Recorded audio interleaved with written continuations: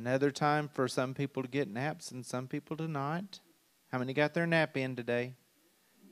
How many wish they got their nap in today?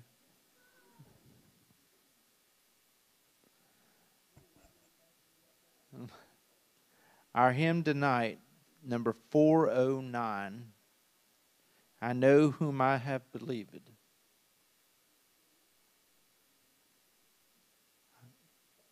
Four oh nine. I was, I was about to say, I don't think it was right, but all right. I, I, I know not why God's wondrous grace to me hath made known, nor why unworthy Christ in love redeemed me for his own. But I know whom I have believed, and am persuaded that he is able to keep that which I committed unto him against that day. I know not how this saving faith to me he did impart nor how believing in his word brought peace within my heart. But I know whom I have believed, and am persuaded that he is able to keep that which I committed unto him against that day. I know not how the Spirit moves, convincing man of sin, revealing Jesus through the Word, creating faith in Him. But I know I have believed, and am persuaded that He is able to keep that which I committed unto him against that day. I know not when my Lord may come at night or noonday fair, nor if I'll walk the vale with him or meet him in the air. But I know whom I have believed, and am persuaded that he is able to keep that which I committed unto him against that day.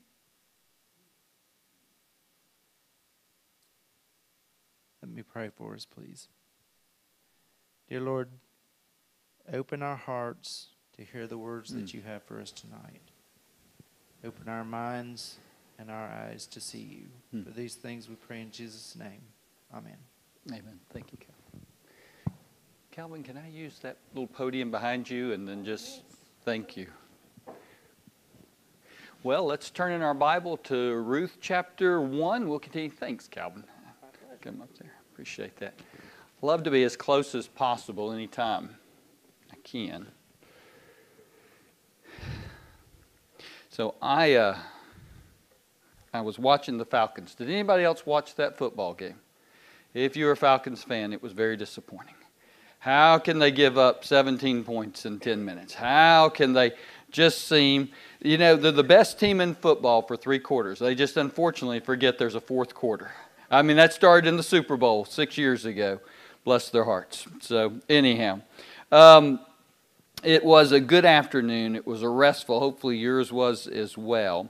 Um, this section, we want to go ahead and read through the rest of Ruth uh, chapter 1.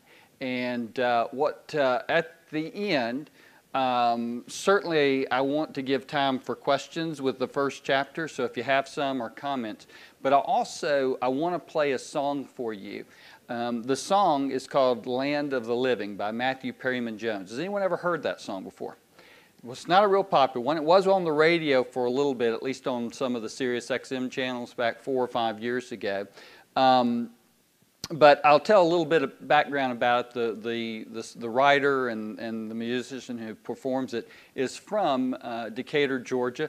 Uh, actually grew up very close to where I grew up. And, and um, I heard the song and uh, I was so intrigued by it because it had such a powerful message. Because when you listen to it, there's, there's four biblical references that he makes. Now, it's not, a, again, he didn't write it to be a Christian song, but there are these four very distinct biblical references. And you hear it. So, anyway, um, there was a movie that came out that uh, made it into some theaters, um, and I was able to go see it. Um, it's called Manchester by the Sea. Um, it's, it's, it's a really real life movie, but it's not an easy movie to watch. Um, it's very depressing. I don't know any other way to say it. Um, it's, it's very real, um, but uh, uh, I, uh, when the movie ended in the theater, some lady said, "Wow, I need Prozac." I mean, it's that was that kind of movie. It was just very, you know. Uh, but anyhow, I was watching, seeing the previews, I'm hearing the song, and so I just Googled who Matthew Perryman Jones is, and I see he's playing at a place called Eddie's Attic in Decatur, Georgia. And uh, I was actually working for a mission organization uh, up on the mountain, Fort Mountain, which is between Ellijay and Chatsworth, Georgia. And so I bought a ticket for like 12 bucks. And, I, and it's because it's, this is on, I'm seeing this on Saturday. The concert's on Tuesday. So Tuesday, I drive into Atlanta. I go to Eddie's Attic, which is a big kind of event center, can hold maybe 150 people for, for a venue. Um, one of the best hamburgers I've ever eaten. But anyway, so I'm enjoying the, the, the meal. And um, anyway, in the midst of the concert, um, Matthew Perryman Jones talks, starts kind of actually telling a story he had not planned to tell. Now, let me just back it up. This is by way of introduction, by the way. Uh, kind of back that up. Three weeks before, up on the mountain, teaching at this mission center place, there was a gathering of four people who had been involved in youth ministry or student ministry at a very high level and together, like their total knowledge exceeded 200 years. It was just these lifers who'd been, one of them's name was Barry St. Clair. Barry St. Clair out of Atlanta, Georgia, uh, had an organization called Reach Out. It's still going. He just retired a few years ago, but a great organization, produced a lot of material, a lot of really good stuff. Well, so Barry's one of the guys that's there, and we, we, we had met each other multiple times before, had a lot of mutual friends. And um, so we're talking, and in the conversation, he was, uh, we're, we're, just kind of, you know, spitballing people. Uh, I mentioned Keith Naylor, and he said, Oh, you know, Keith was the youth pastor in the church that we planted there in Clarkston, Georgia. And I said, No. I said, Keith spoke at a youth revival when I was 15 that me and four other guys went to our pastor and said, Hey, can we do this youth revival? We want to do something to reach students. And, and God was really moving in our community at multiple churches. And so we wanted to, and the pastor was very supportive of it. And so the guy who was, who was just teaching myself and my brother and these other guys were going through this discipleship group, he spoke two nights. And then he got he said hey this guy named keith naylor. And so keith came and spoke two nights. Well the last night which was wednesday night keith gave an invitation. And the invitation was just if you feel like you know that, that if you want to just you know come forward to say hey i want my life to be used for the kingdom in some way form or fashion just come down we'll pray for you. For me when i went down it was in that at 15 that i felt the first stirrings of being called to ministry. So i always go back to that moment, standing in a church about this, this size when I was 15, that this six foot six basketball star named Keith Naylor had preached this challenging message and prayed over a group of about 20 of us. And I'd go back and say that was, that was the kind of significant time where I felt God calling me toward, toward ministry or beginning that, that call. Well, so uh, in the conversation with Barry, uh, we were talking about Keith, and I shared that with him, and he said, he said, did you know, did you know Keith passed away just a few months ago? And I said, no, I didn't. It was shocking. He had, he had had eight children. Well, his oldest child had died, and he, he just it, he couldn't get over it. He went into a pretty deep state of depression. He did not self harm, but most people just believe he really just died of a broken heart. It just it just broke him so bad. And so we're, we're talking about that and we're sharing. Now, so, okay. So that's now, fast forward to I'm down the mountain in Decatur at Eddie's Attic about maybe four or five weeks later. And Matthew Perryman Jones is singing. And after, and so during the midst of the concert, he goes off script. And he says, Wow, I had not planned on doing this, but uh, a really good friend of mine named Keith died uh, just a couple months ago. And um, basically, he started sharing man, just his life story, starts sharing his testimony to this, this group of people. Uh, and he said, Back when I was, uh, when I was a young um, teenager, some stuff, bad stuff happened to me. And he said, um, just really messed me up, and I got into some things. And there was this group of people that I got connected to, and uh, and he never like was sharing Christ, but he started talking about this group that had really reached out to him and had helped him. And he said, and so we'd start coming down here, and we played here at Eddie's Attic, and the and and I always felt like I wanted to be a therapist to try and help those after. And he said God helped me through this very difficult time. And uh, he said, uh, but I was challenged by my friend Keith to use the songs I was writing, even as a 18 year old, to help and to, to, to try and minister to others, was the words he used. And uh, he said, uh, Keith just died, and he said, he said, and he, he said, like nearly 30 years ago, for the very first time, uh, Keith would always sing, he pushed me out onto this stage. And by this time, like he's weeping, and I'm thinking, is this Keith Naylor, the same Keith that you know? And uh, so he's just just kind of you know sobbing and weeping and saying, the reason I'm doing everything I do today was because this guy pushed me out in front here at this event. So after the show, you know, it wasn't again, it's not wasn't like a lot of people there, but I, I, I waited to chat with him, and I just walked up. I said, "No, you don't know who I am. My name's Bill Jessup. I grew up in Decatur, then moved to Loganville." the Keith where you were talking about, was that Keith Naylor?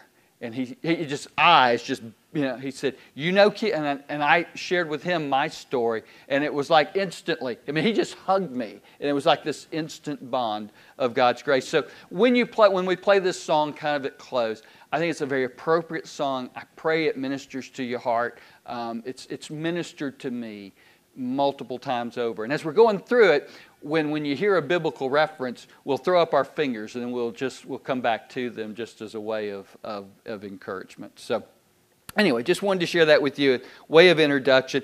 Also, it always reminds me that God always puts us where He wants us. He connects dots, right? He's just times you don't even know. Who I never would have thought that I'd be here tonight, getting the privilege of sharing this here. It's amazing how one thing leads to another to where God, we don't know the steps He has for us. But if we'll be faithful to walk where He wants us to walk, we will get to enjoy what He has for us. And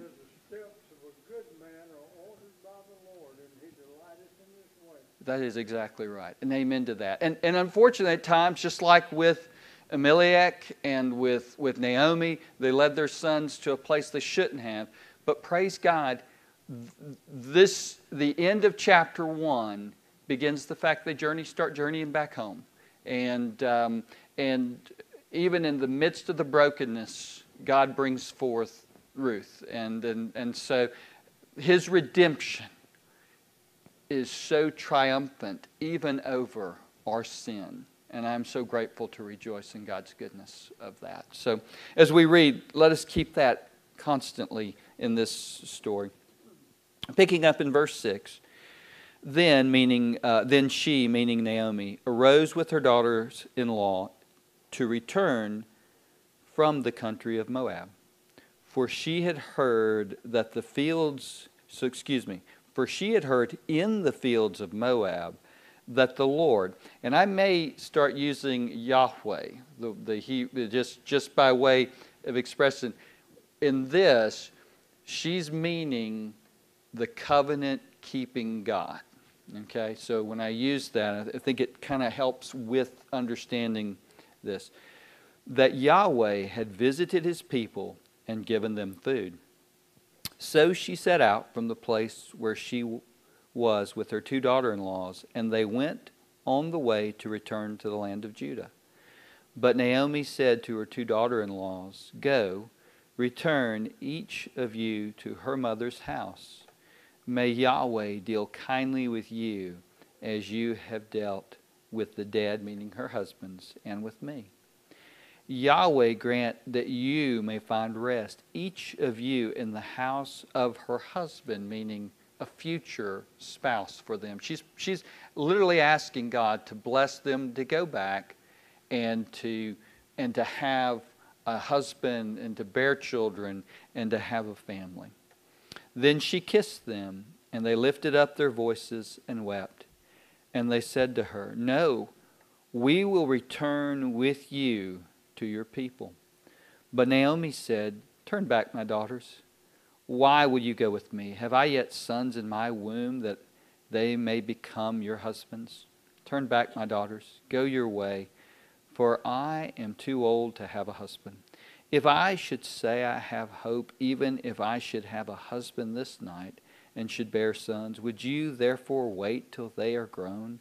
Would you therefore refrain from marrying? No, my daughters, for it is exceedingly bitter to me for your sake that the hand of Yahweh has gone out against me. Then they lifted up their voices and wept again. And Orpah kissed her mother in law but Ruth clung to her. And she said, See, your sister in law has gone back to her people and to her gods. Return after your sister in law. But Ruth said, Do not urge me to leave you or to return from following you. For where you go, I will go, and where you lodge, I will lodge. Your people shall be my people, and your God my God. Where you die, I will die, and there I will be buried. May the Lord do so to me, and more also, if anything but death parts me from you. And when Naomi saw that she was determined to go with her, she said no more. So the two of them went until they came to Bethlehem. And when they came to Bethlehem, the whole town was stirred because of them. And the women said, Is this Naomi? And she said to them, Do not call me Naomi, call me Mara for the Almighty. That would be better translated, uh, maybe translated Elohim, God who created us. For Elohim has dealt very bitterly with me. I went away full, and Yahweh has brought me back empty. Why call me Naomi when Yahweh has testified against me, and the Almighty or Elohim has brought calamity upon me?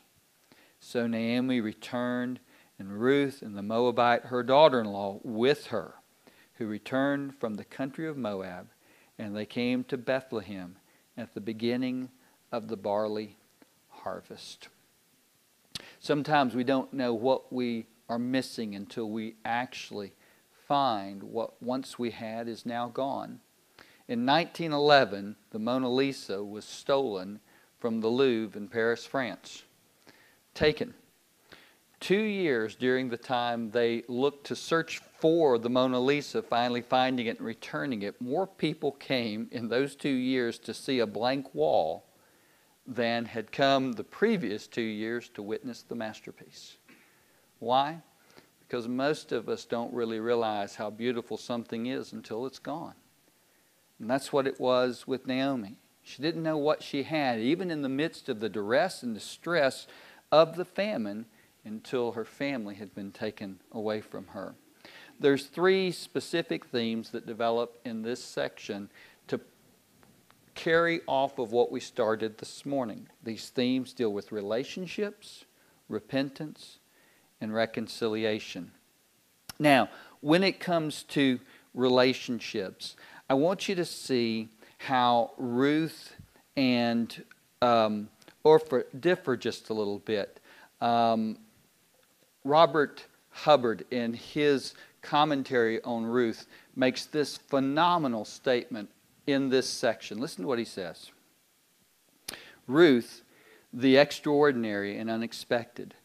Thus, Ruth models an adventurous faith, one willing to abandon the apparently sensible and venture into unknown territory. Whatever her motives, deep affection, a sense of loyalty, misguided idolism. she sacrificed her destiny to cling to an aged, hopeless mother in law. One may understand Orpah, one must emulate Ruth. I think he's spot on with that. When you see the story, everything would make sense for Ruth to return back to her home.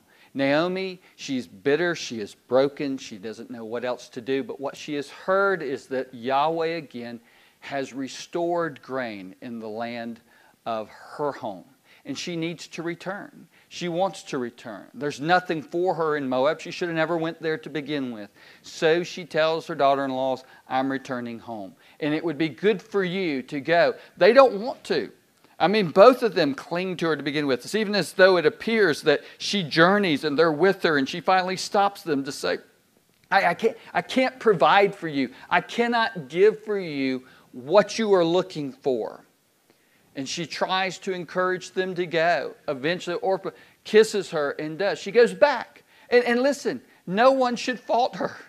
No one should have hardship or heartache to think, wow, you know, that she was in some way not honoring her mother in law. And in this situation, we would completely understand. But as understanding as we might be, to look at Ruth, the faith, the trust, the courage, the conviction, this is who should be emulated. This is a testimony that is beautiful and precious beyond exception. It is something for which all of us can look at to be reminded, to have our own faith stirred by the, by the intoxication of Ruth's commitment, not just to her mother in law, but to the God of her mother in law, of her first husband, and her first husband's uh, father. So there was something special. So as we look at this, these three themes, the first one is to look at relationships. Ruth values the idea of covenant relationship. You see that with her. You see in the way she approaches it. You see in verses 15 through 18, unless death separates us, let nothing come between us. It is in these uh, verses that for the first time, in verse number 8, Naomi says to her daughter in law, Go return each of you to his mother's house, and may the Lord deal kindly with you. That word deal kindly is that word hesed. It denotes loyalty, reliability, kindness, and compassion.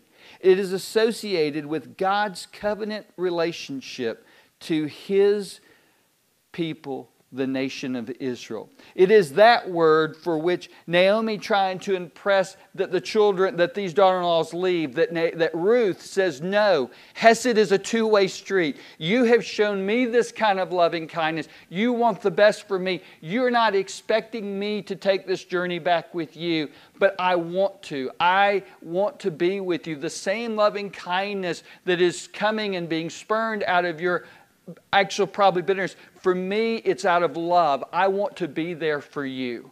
I don't want to leave you. And so this idea comes forth where Ruth emulates the very thing for which God emulates to his people. Here is a woman who is broken, who is hurt, who is bitter, who is angry, and yet Ruth presses on to her Hesed, even when she probably does not deserve it.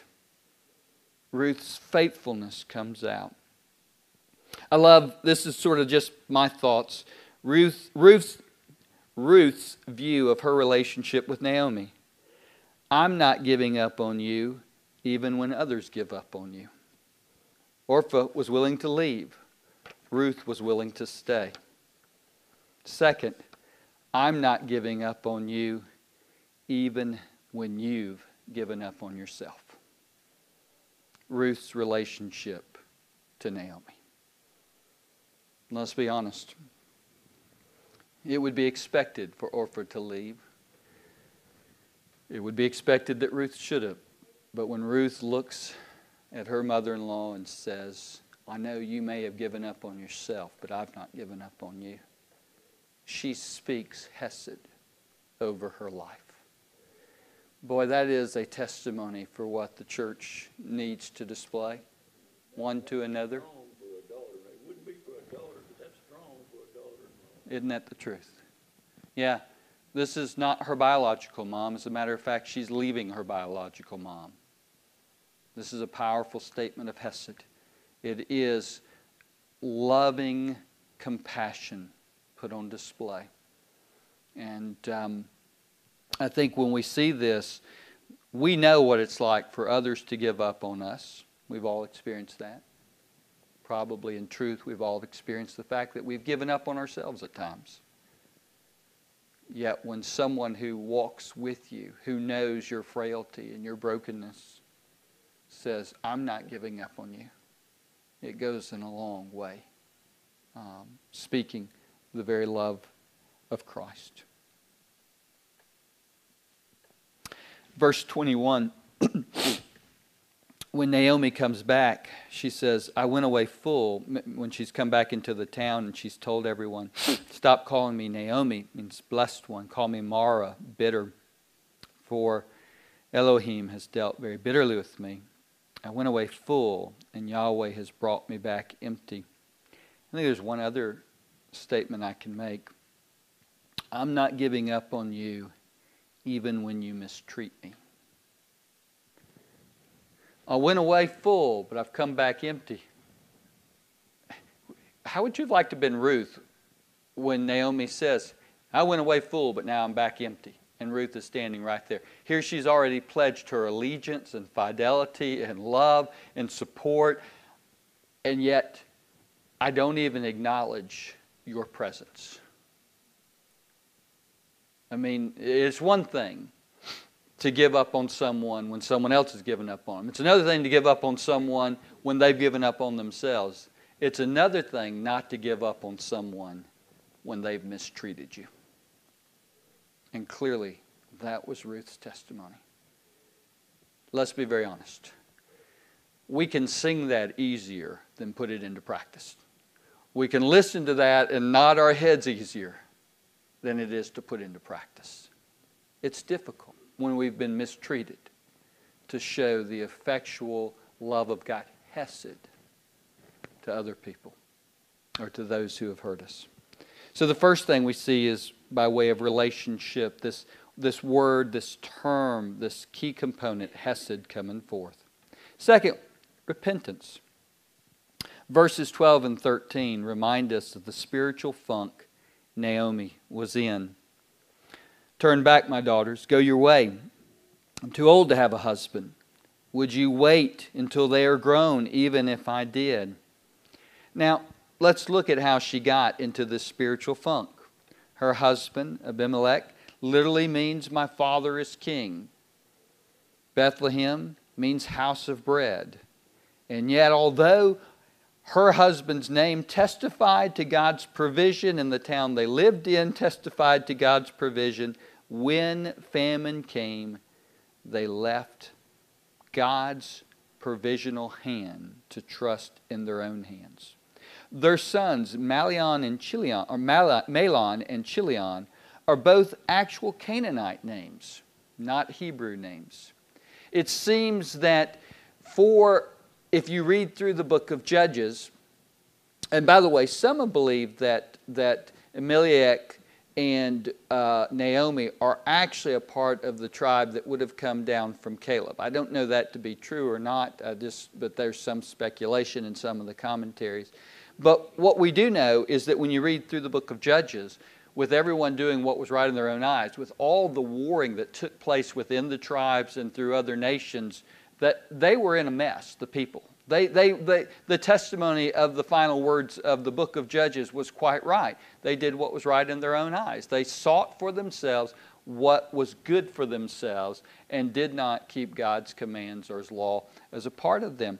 Even so much that they took identity of other people. Your name represented something significant in your tribe, in your nation. So so for them to be have the Canaanite name seems to indicate that even Naomi and Elimelech's relationship wasn't strong to begin with in what they perceived of naming their children and what that would look like by way of its testimony. So I wrote down a couple of things that are need to be seen by way of repentance. And so here's here are the thoughts. one's failure to be repentant, which means to agree with God and change my attitude and action. One's failure to be repentant hinders us from seeing God's promises clearly. The failure to be repentant, it clouds our ability to see God's truth. For here's the, here's the reality Naomi should have known the idea of a kinsman redeemer was something that God had in His Word as a provision for what would happen in just this scenario.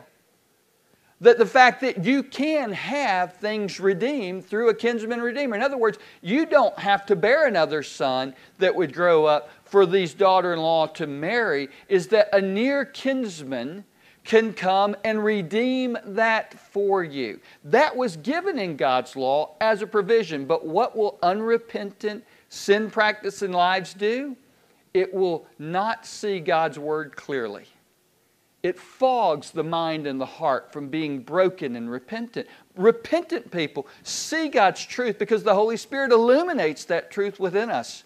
But those who are walking in darkness, who do not want God's word to be a lamp unto their feet and a light unto their path, will stumble. Why? Because the darkness is what surrounds them. And it's easy for us to see believers who find themselves more often than not when, when, when, when, when someone looks up and sees that they've drifted so far away, they never intended to make those decisions to hurt people. They never intended to destroy their life that way. They never intended or planned to go that far. What seemed right in the moment in their own eyes was, was just a little step or a slip away. Now they find themselves miles adrift, not seeing clearly because of an unrepentant spirit and heart here's the beautiful thing about repentance. When we agree with God, the, as believers, the Holy Spirit who indwells, when we agree with a holy God who indwells us, that His Word is right and righteous and true, and repent, agree that our actions are wrong, that our attitudes are, and ask in brokenness and repentance for God to open our eyes to see clearly, all of a sudden, the light shines. All of a sudden, we go, Yes, Lord, I agree with you. How could I have been so foolish? And that's the beauty of what repentance does it clears the fog. It is like, for me, a good cup of coffee first thing in the morning. It just breaks the fog up. That's what repentance does for the heart and soul. Second, repentance is taking responsibility for one's actions instead of trying to cover them. Repentance is taking responsibility for one's actions instead of trying to cover them. In Proverbs 28:13 it says, "He who covers his sin will not prosper, but whoever confesses and forsakes them will have mercy." What did Ruth want to do? She wanted to get rid of her daughter-in-laws partly because going home she did not want the sinfulness of her children and her husband's choices following her. I can get rid of my daughter in laws and the testimony of my sons marrying the Moabite women, which was not in and of itself wrong, but not highly valued or looked at. I can make that go away if they don't go back with me.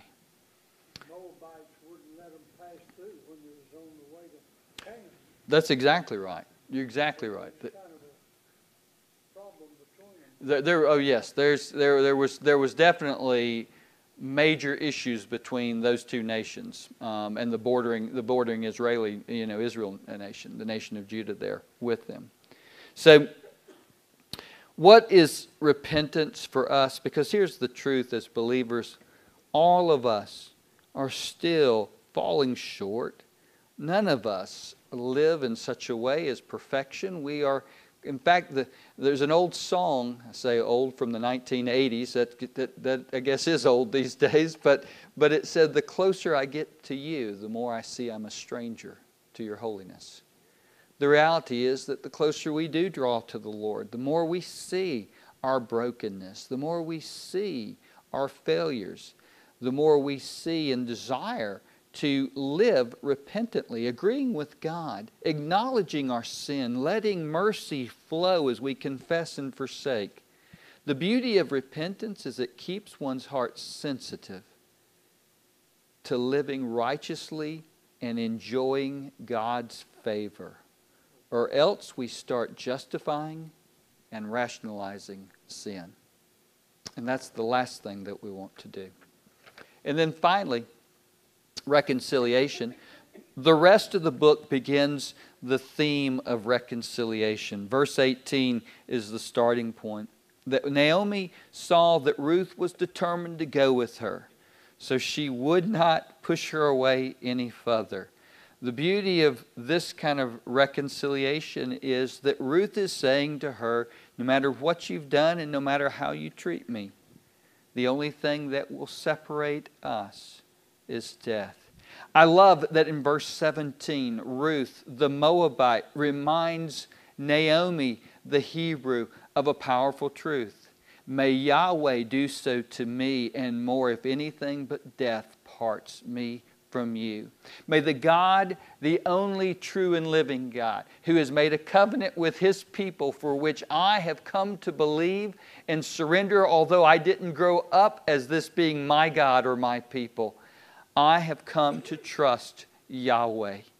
And I submit myself to the fact that his provision will be good. And so I will not leave you nor forsake you until death separates the two.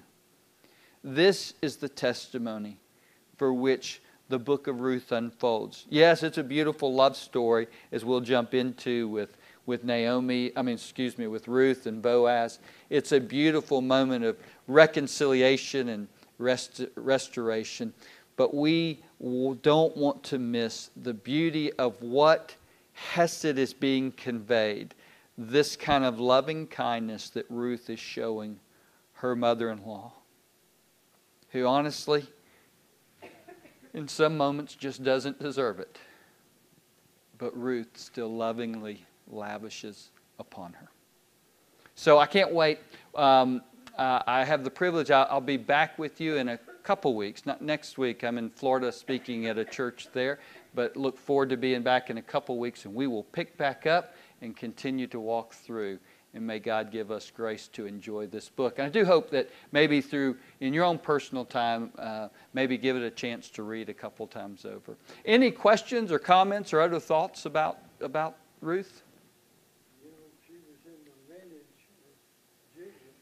Yeah, that's that's uh, that's part of the most amazing thing is that um, both Rahab um, and Ruth um, these foreigners uh, play a significant role in the lineage in the testimony. She's, she's yes. Uh, so we see that. That's again, especially coming out of this morning. I wouldn't want us to have seen this morning's message without looking ahead to chapter four with God. And, and what can we say, even in the midst of the sinful, destructive patterns for which Elimelech and Naomi set for their children and themselves? is that God, in His providence, was still working graciously. And he, he, and he is faithful and good to work even in the midst.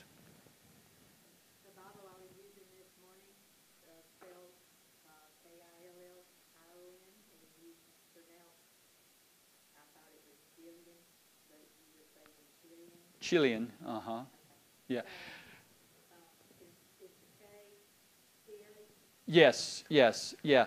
And and to be honest with you, sometimes some of the enunciation of what we're doing with languages that have not been around for quite some time is our best English translation, but Chilion kill. It's right for uh, Abimelech is not. I'm not doing that justice. It'd be easier to just say Eli, or we'll call him Chill or Kill. But uh, but yeah, Chilion, Mahlon, and Chilion. Mm-hmm. Good. Anyone else?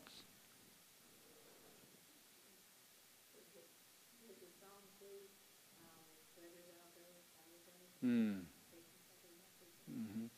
Played a lot at weddings. Yeah, yeah. It is. It is.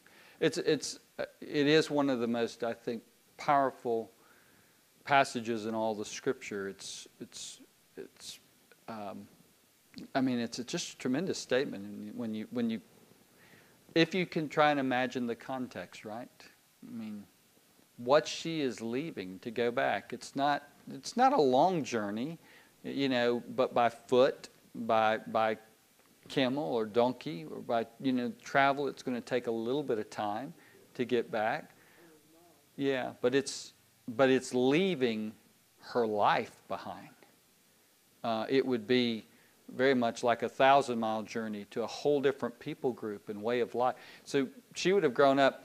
You have to remember that the, the, the nation of Israel, when it settled into the land of Canaan, the reason it was to, to press out the people of Canaan is that they that there's a verse that says when the fullness of sin had come to its conclusion, God then brought forth Israel out of Egypt, and um, and and so the the pluralistic view of worship of multiple gods was had to be driven out from the land.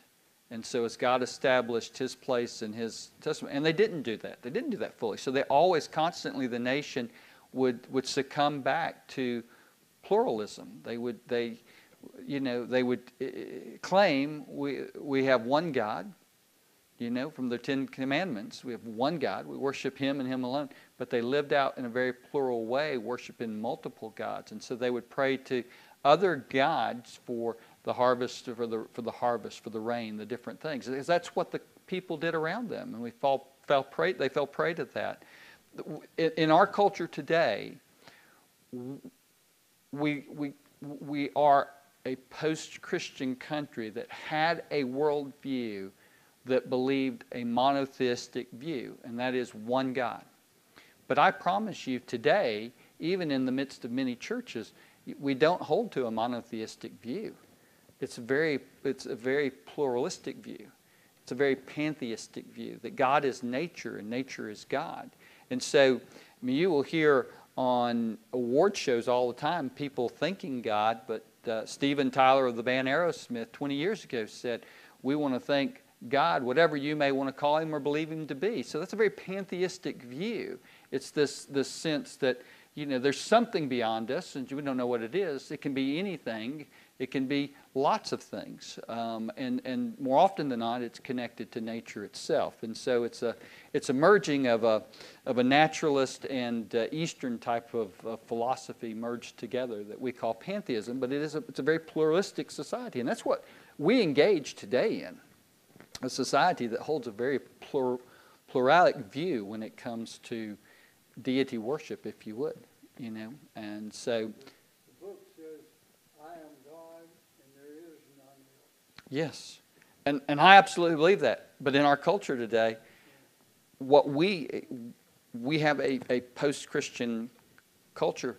It's amazing that, that many, that uh, the, the vast majority of the people in this country no longer believe that. What really concerns me is that there's a high percent in our churches that don't believe it. Now, I haven't, I haven't gone to look. I simply saw a friend of mine who shared a, a, an article that stated half of the pastors that make up, that, that was surveyed across the country, believe there's more than one way to get to heaven than just through Christ. So it's a very pluralistic view.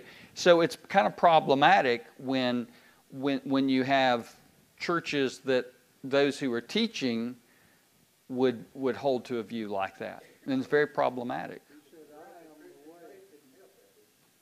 What's that?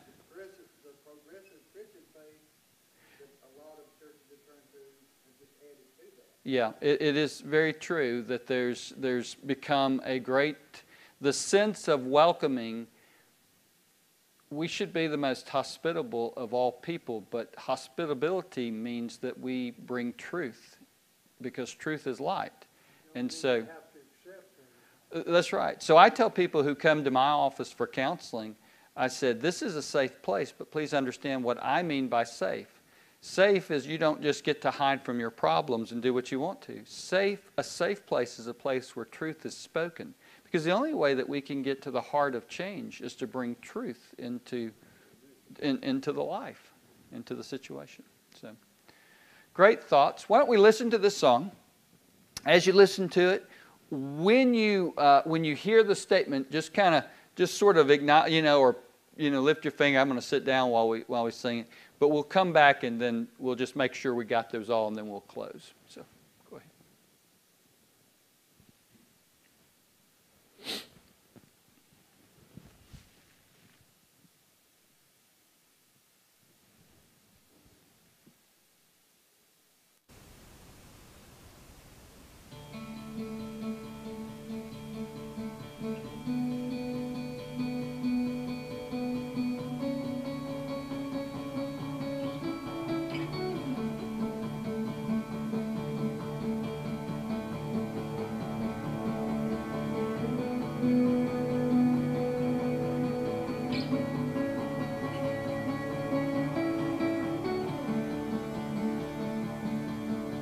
Into the land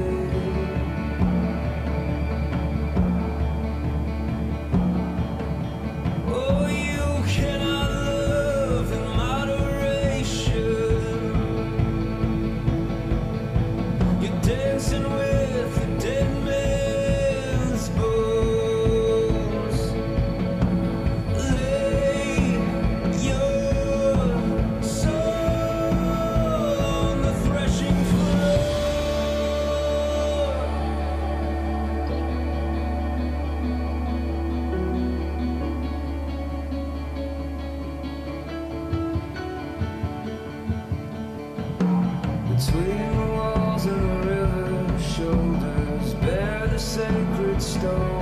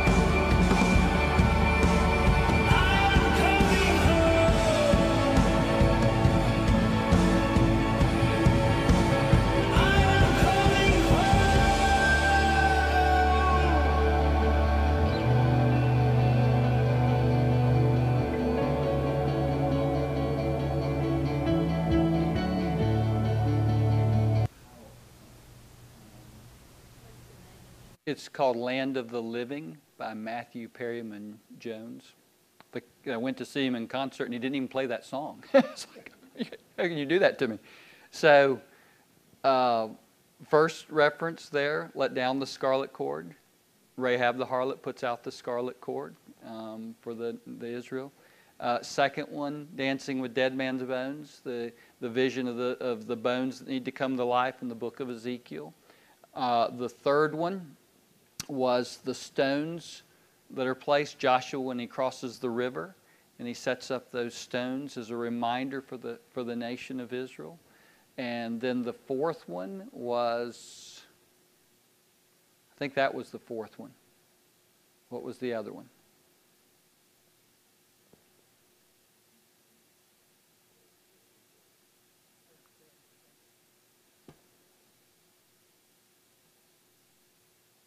Oh, I kissed the ground and changed my name. I'm sorry, that was the third one. That was Jacob's name being changed from Jacob to Israel. So think it. This is a. So, and by the way, I think there's a fifth one. I'm not sure. I'd like to talk to him about this, but I think I'm coming home. I think it's a reference to the prodigal. And I think there could even be five.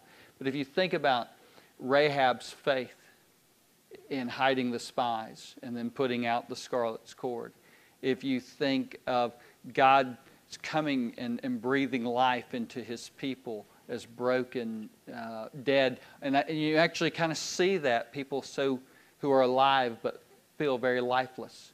Um, Jacob wrestling with God. You know, Jacob's name means one to deceive. And that was his testimony. What does his name become? Remember, he wrestled with God all night. And he said, I, I will not let go of you unless you bless me. And God did and changed his name to Israel, which means peace or prince with God. What a name change. You remember what he did to him? He touched his hip and he took it out of socket. My question a lot of times to the, the church is what limp do you have that God's touched in your life that gets to put him? That's right put God on display. Um, the testimony of remembrance crossing the Jordan River, of the miraculous hand and provision of God. So, anyway, that song always encourages my heart uh, quite deeply, um, especially in times of sorrow and melancholy. So, uh, been a joy. Look forward to being back with you, Lord willing, in, in a couple of weeks, and just pray God's good grace and favor upon you. Let's join our hearts in prayer together. Father, I thank you for a very sweet time together. I thank you for your word, which is faithful and true. God, I pray that that which has been said that honors you would resonate and stir within our hearts. Anything said that was not of you, not faithful to your word, oh God, please remove that from mind or thought.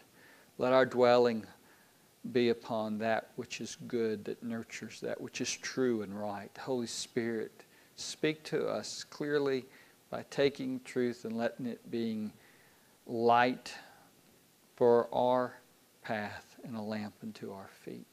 God, we thank you for your grace, your mercy, your kindness. We pray blessing on this church. And um, God, ask that your good hand would be upon them in a very special way. In Jesus' name, amen.